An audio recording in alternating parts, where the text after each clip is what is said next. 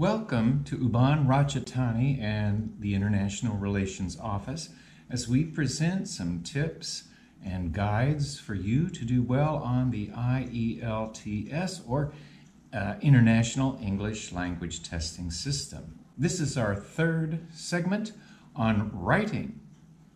Writing is considered the most difficult part of this IELTS exam. You'll want to form a thorough analysis of the items beforehand so that you're ready to go to write.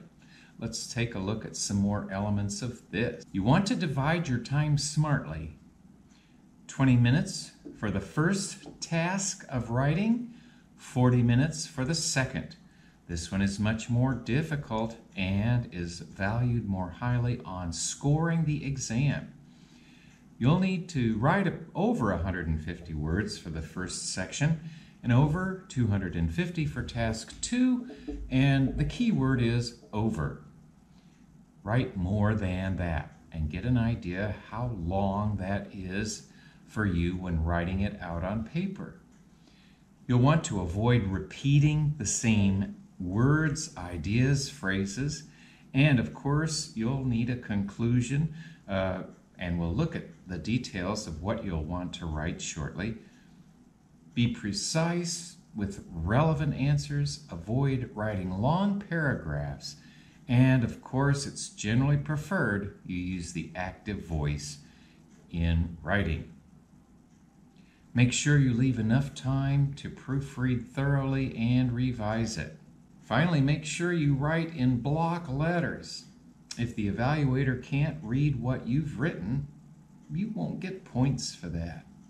So this writing exam will take you 60 minutes for two big sections, well, one small and one larger section.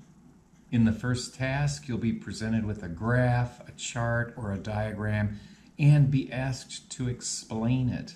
The second job in this part of the test will be to write an essay in response to a point of view or an argument or some other problem and you'll want to write in a formal style, of course. So here are the official band descriptors.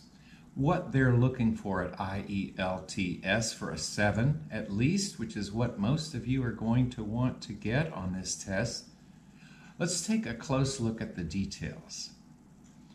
For band 7, we'll see in task response addresses all parts of the task presents a clear position throughout the response, presents, extends, and supports main ideas, but there may be a tendency to overgeneralize and or supporting ideas may lack focus. In the area of coherence and cohesion, for number seven, logically organizes information and ideas. There is a clear progression throughout uses a range of cohesive devices appropriately, although there may be some under or overuse of these, presents a clear central topic within each paragraph. For lexical resources, uses a sufficient range of vocabulary to allow some flexibility and precision. Uses less common lexical terms with some awareness of style and collocation may produce occasional errors in word choice, spelling, and or word formation.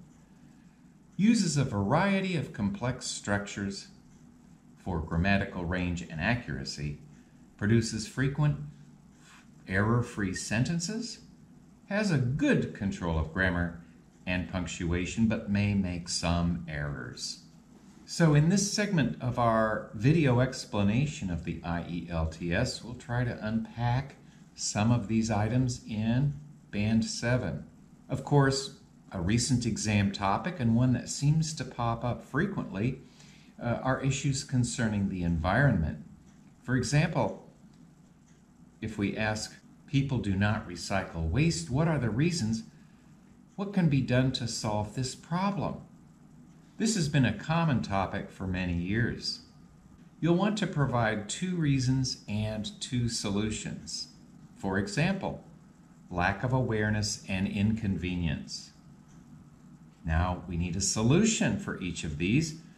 conduct an awareness campaign and make it easier. Those would be two things you could do as reasons to and solutions to, and then write in a detailed, formal manner about your reasons and solutions. And here again are the four categories for Band 7, for all the bands, in fact. So, what will you do to prepare? We recommend you write a paragraph each day to practice your writing. The IELTS exam is not something you can cram for in three days before the test, like you might have gotten away with in some classes. It is ongoing for listening, speaking, and reading and writing. Do each every day, especially the month before the test. One thing that really helps even me, a native speaker, is the Grammarly app. You can download it for free on your phone, you can use it on your computer, and it is a grammar teacher. It will tell you when something's wrong and suggest the correction. If you pay money to Grammarly, they will give you even more writing tips. But the free application even helps me make better Facebook posts and the like. So be familiar with the test and don't be surprised on test day. You're going to see pie charts, bar graphs, uh, and line graphs and need to explain those in written form. And whatever you do, don't memorize an essay beforehand. Be sure you tailor your written work to the specific questions they're asking on the test. So while you won't want to memorize a whole essay, you will want to have an idea bank running.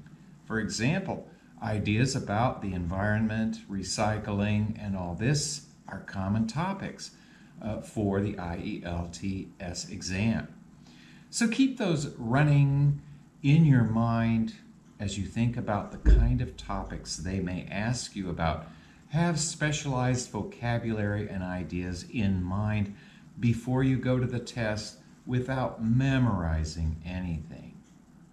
Perhaps you have seen the hamburger image. Of course, this is, explains what most people do know. Written work needs to have an introduction, a body with at least two paragraphs, and a conclusion. And we'll look at the details of each of those just shortly. So, of course, in the introduction, you're going to want to state specifically what you're going to talk about in your written work. And try to present one overarching theme in your introduction. The body of your written work, your essay, uh, will need supporting ideas, perhaps three, give reasons and evidence with details. Your conclusion is going to sum up what you've already written and offer an appeal for why what you've written is persuasive and should be accepted by the reader. So let's dive into the introduction. The introduction should identify the specific topic then define, limit, and narrow it down to one specific issue. It should provide relevant background information. It should identify and explain complications found within the topic. And a thesis statement should establish the direction of study. And finally, point the audience towards your conclusion. And now for some don'ts for introductions. Do not provide a vague generality or truth. For example, throughout human history or in today's world, do not reference the essay's title. This is a big problem. The book is about the history of the guitar. Do not start by using a dictionary definition. According to Webster's, don't begin with an apology. I'm not sure if I'm right, but I think, I don't know how much I know about this. Don't begin with a flat announcement. The purpose of this essay is, in this essay I will. So try to dive right into your essay, but without these clumsy filler statements, the don'ts. So here's one of our YouTube stars, Asia, who got a 9 on this exam, and she shares uh, on the internet her own introduction. Let's take a look. The question is In many countries, people who do not recycle waste materials such as bottles and newspapers, what are the reasons for this? What could be done to solve this problem? And her introduction is this Recycling materials such as glass, plastic, and cartons is an important practice that helps to reduce our impact on the environment. Many people across the world, however, do not recycle their waste and send everything to landfill. This essay will discuss why this might be the case and how this problem can be alleviated. So you can see she's offered a summary of what she's going to talk about and went directly into that and is pointing already to her conclusion how these problems might be alleviated.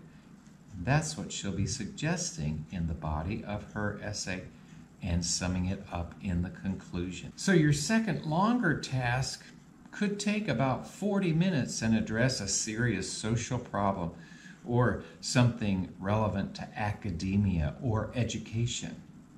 Be sure to address all parts of the essay question. Here is a sample question. Living in a country where you have to speak a foreign language can cause serious social problems as well as practical problems. To what extent do you agree or disagree with this statement? Give reasons for your answer and include any relevant examples from your own knowledge or experience. So be sure to address all aspects of those topics, include your own knowledge and experience, and be sure you've written over 250 words in block letters. So let's take a look at another sample one question dealing with bars, graphs, charts, or diagrams that you will need to write about and explain. The chart below shows the number of men and women in further education in Britain in three periods and whether they were studying full-time or part-time. Summarize the information by selecting and reporting the main features and make comparisons where relevant. We can see full-time education, part-time education, and males and females acknowledged in this graph, as well as the numbers in thousands in higher education. So now let's take a look at what this person wrote and what the examiner said about it. The test taker wrote this is a bar chart of the number of men and women in further education in three periods. In 1970, most of the men were studying part time, but from 1980, studying part time was decreased and studying full time was increased. And in 1990, it was twice as many students as in 1970. On the other hand, women studying full time were increased, and not only full time, part-time also were increased. In 1990, studying full-time was three times as many students as in 1970.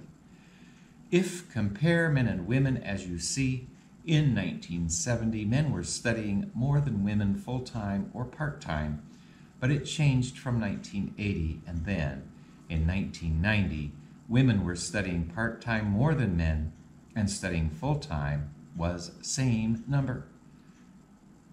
It shows you women have a high education now. So there are some problems with the writing here. This was not a nine score, but it was a good solid answer. Let's see what the evaluator had to say about this essay. The length of the answer is just acceptable. There is a, there is a good attempt to describe the overall trends, but the content would have been greatly improved if the candidate had included some reference to the figures given on the graph. Without these, the reader is lacking some important information. The answer is quite difficult to follow, and there are some punctuation errors that cause confusion. The structures are fairly simple, and efforts to produce more complex sentences are not successful. And so do please take a longer look at this on the PowerPoint or in this video uh, to see the specific comments the evaluator had in the four categories of task achievement, coherence and cohesion, lexical resources, and finally, uh, the task response. So please full screen this slide and take a look in more detail uh, at the criteria for the four categories of uh, task achievement, coherence and cohesion, lexical resources, and grammatical accuracy, the four big categories on which they will score you for the writing part of the exam. So here's a sample question from part two, the more difficult section, for which you'll want to spend perhaps 40 minutes. Let's take a look. Write about the following topic. The first car appeared on British roads in 1888. By the year 2000, there may be as many as 29 million vehicles on British roads. Alternative forms of transportation should be encouraged and international laws introduced to control car ownership and use. To what extent do you agree or disagree? Give reasons for your answer and include any relevant examples from your knowledge or experience write at least 250 words. So the key word here is your knowledge and experience. What is your knowledge and experience of traffic, traffic jams, pollution?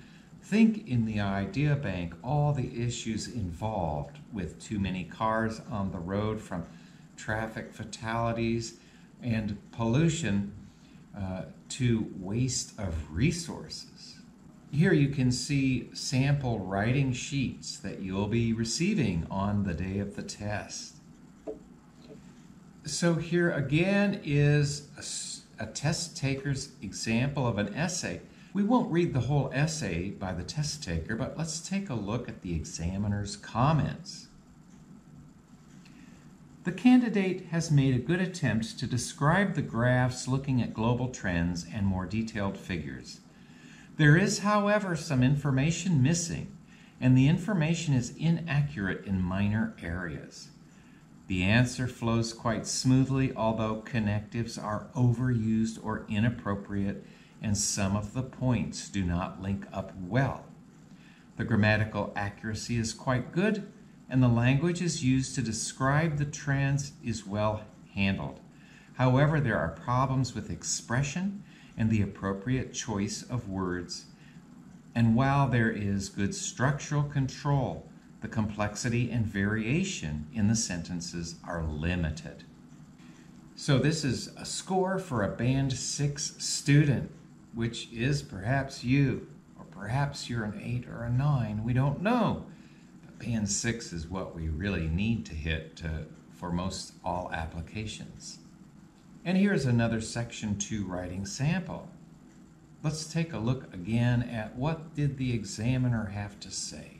For a Band 6 student, the examiner said, Although the script contains some good arguments, these are presented using poor structures, and the answer is not very coherent. The candidate has a clear point of view, but not all of the supporting arguments are linked together well, and sometimes ideas are left unfinished.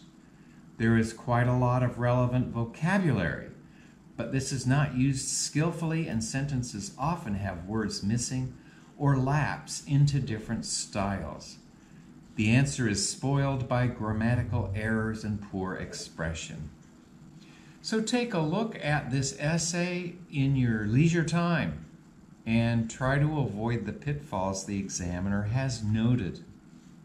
So to answer these questions, let's look at some key points, shall we?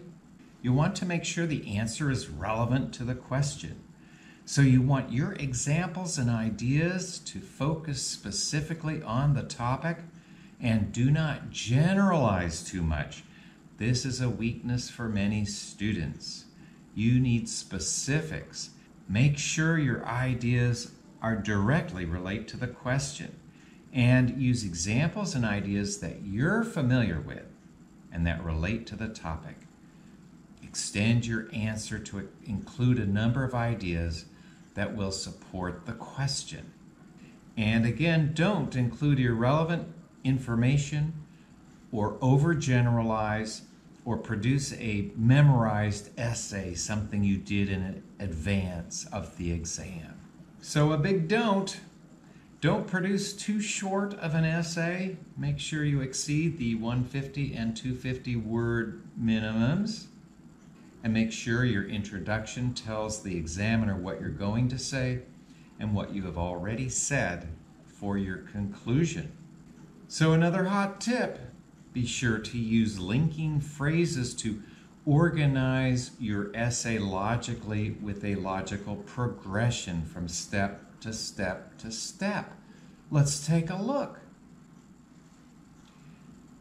We can see linking words in English. So if you're asked to present both views on an issue, then state your opinion at the beginning and then move on to present both views and spend about as much time on your view as an opponent or other person's view. Then come back to your own opinion and conclude the essay.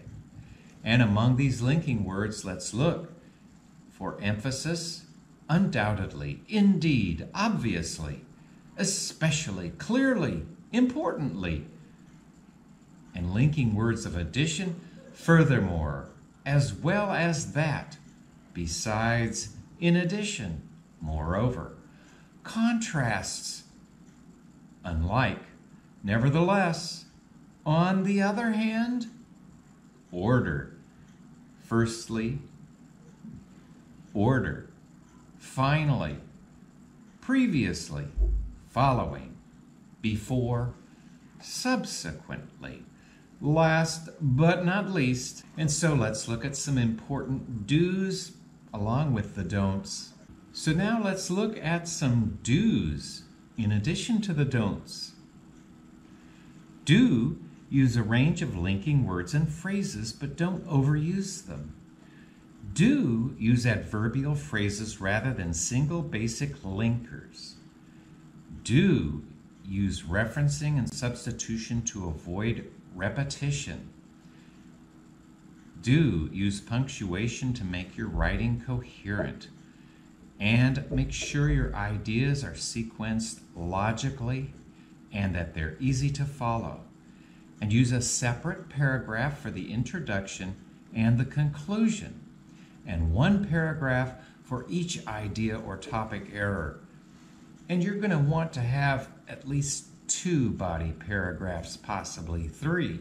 It's common to have an introduction, three points to make, summing it all up with the fifth paragraph as a conclusion.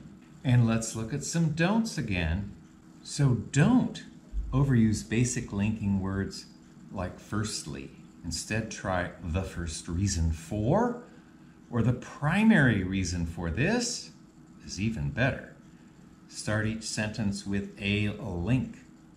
Some people believe, however, that individuals must also take responsibility for the environment, or I believe, on the other hand, that individuals do have a responsibility. Use, don't use numbers, symbols, or abbreviations. So if it's a single number, you'll want to write out the word one or two, T W O O N E don't use headings or subheadings or underline words or phrases. Never use a one sentence paragraph and start every sentence with a linking device. So you're going to want to organize your writing into paragraphs. And then we can use the PEEL acronym to remember how we should do that the most effectively. Point Introduce your topic or topic sentence. Example. What example supports your point? Explain why this evidence supports your point. Link. a transition to the next topic or paragraph. So you must have enough paragraphs to show you have a structured, thorough response to the question with details logically organized. So do, again, use paragraphs as we said. Make sure you leave a space between each paragraph so that it's very clear that you have a paragraph. So now the prospect of collocation is a tricky one. Let's take a look at what's involved with that, and you'll want to be aware of this as you're writing your essay. Collocation involves using less common vocabulary and spelling it correctly. In the band descriptors we looked at, a band 8 writer skillfully uses uncommon lexical terms. When we learn a language, we use common and uncommon terms. Uncommon terms are those we use to discuss specific topics or idiomatic language and phrasal verbs. Old fashioned words or words not used in everyday speech should not be used. If you choose a synonym, make sure the meaning is the same. So, adolescent and teenager have close meaning and can be used interchangeably, but toddler and baby have a quite different meaning. Collocation is mentioned, and this is the knowledge of what words go together with what other words and which are suitable to use for different topics. So let's take a look common collocation in English. And we have several verbs in our chart here. Keep, keep quiet, keep control, or with go. Go bankrupt, go mad, go insane. Give a hand, give a ride. Use idioms only if you're sure you know the meaning, because your evaluator will know if you use them correctly or not. So, another set of do's do use precise words, words that you understand that are used in everyday language and use collocation and phrasal verbs when you can, and avoid idioms that you're not sure of. And don't, clearly, make spelling mistakes or typos. Don't switch British and American spellings. Use one or the other. They're both okay. Don't use a word if you can't spell it or don't understand it, and don't use reductions like gonna or gimme or generic terms like this stuff or those things. Or old fashioned phrases like my lands. And don't use even contractions like can't or didn't. For a formal essay like this, you're going to want to say cannot and do not. It's more polite and formal. So don't use memorized language, much less an entire essay memorized. Your evaluator will know what you did and that you're not thinking off the cuff and spontaneously and from your own knowledge of English writing. So, some phrases like love is blind, off the top of my head, a friend in need is a friend indeed. And then we can look at some good and bad uh, ways of phrasing. Nowadays, is bad. In recent times or recently is much better. Can't is bad, but cannot is good. And so forth. So try to put keep these in your mind as you're going about uh, preparing for the exam. And use a wide variety of complex sentence structure to ace out the grammatical and lexical resources and accuracy section of this test. If you're going for a band 8, they'll want you to show a wide range of structures accurately to present your ideas and opinion. Demonstrate to that examiner you can use a wide range of structures and, of course, make sure your, er, your sentences are error free and mix up complex and simple sentences. Your complex sentences don't need to be long and complicated, and they should not be. Punctuation should be accurate, and of course, with grammar, let's look at some common errors. Relative clauses. A common error is using the pronoun incorrectly. Who, that, or which. Conditional clauses. Choosing the wrong tense for the clause. For example, type 0 and type 1, 2, and 3 conditional sentences. Present or perfect or past perfect, getting the wrong tense is a common error. And of course, a big one articles, using a, and, or the incorrectly, or not using them. So take a look at these things. You probably know these things already, but make sure you get this all in your head as you prepare for this exam. So for a band 8, let's take a look at the steps to take. Even if you're wanting a 6, aim for an 8. Maybe you'll end up with a 7. Did you answer all parts of the question sufficiently? Are all your ideas and support directly relevant to the question? Did you avoid overgeneralizing the topic? Does the examiner know exactly what you think? And do you present this position clearly for the whole essay? Did you support your ideas with clear examples and not vague research and survey results? And finally, and importantly, did you write over 250 words? On the checklist for, for coherence and cohesion, can the examiner follow your ideas easily from the beginning of your essay to the end? Does it progress clearly? Introduction, two or three main ideas with examples and details, followed by a conclusion that summarizes your points and what you said.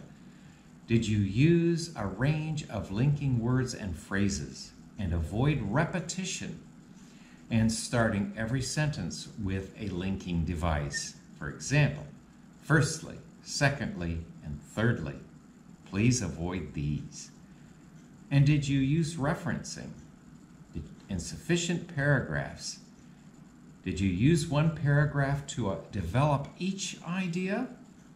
Is there a clear introduction and concluding paragraph? So there's the second of our four categories where they will judge your writing coherence and cohesion. So, with lexical resources, we're looking for vocabulary, spelling errors, and range of expression. Did you use a range of vocabulary that is on topic? Did you use precise vocabulary choices and collocation as we discussed? And appropriate uncommon words like cultural diversity, for example? Check for spelling mistakes and typos. And you'll need the correct form of the word for adverbs, nouns, adjectives, and verbs. So, lexical resources is something you can check rather readily, not as difficult as the other areas in the band descriptor. Grammatical range and accuracy, I suspect most of you know what these are all about. Did you have simple and complex structures presented accurately? Did you use a range of structures, conditional, present perfect, relative clauses, modal verbs? Did you avoid long, complicated sentences? And are your sentences error free and punctuated correctly? Capital letters, of course, and proper nouns need to be capitalized and then be careful with commas and periods. So keep all these things in mind as you're writing and be sure to write every day and go online, please. We encourage you to use the resources we use to prepare these videos. So if you go to these resources, you will find more than all you need to keep practice, practice, practicing. And write every day one paragraph and you'll do well, especially if you're also reading 30 minutes a day, practicing shadowing exercises for the speaking aspect of this test, and listening to a TV show every night. You have to soak your brain in English. Chokdi tukon pomwangwa kun jami samrep